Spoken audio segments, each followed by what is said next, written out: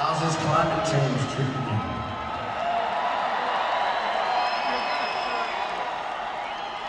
It's a good excuse for more of that Jenny's ice cream, right?